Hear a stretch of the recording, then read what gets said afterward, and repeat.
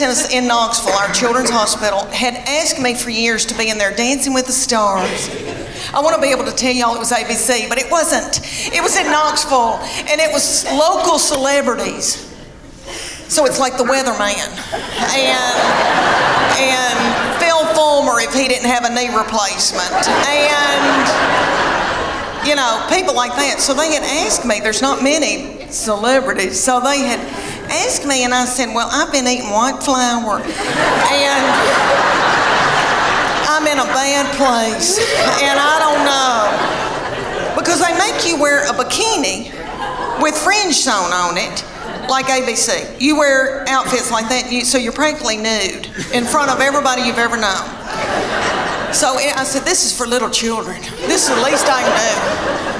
So I, they put me with a big old boy that was my partner. He was a doll, and um, it was very stressful. You had to learn a dance in, in six weeks. You had to learn a dance. You, you practiced at night, and then you begged for money during the day. It was a lot.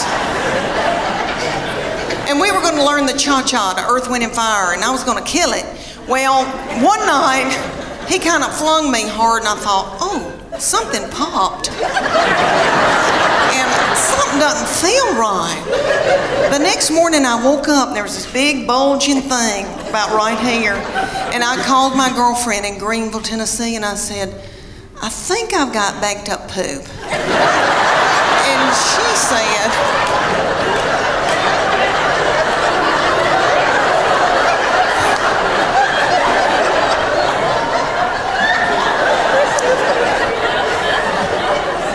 because I have trouble with that. But she's saying, I don't think poop goes up that far. And so she looked on her iPad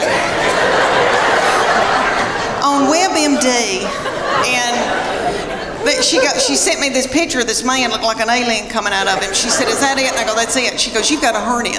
So I went to my doctor and they said, we can't push this thing back in.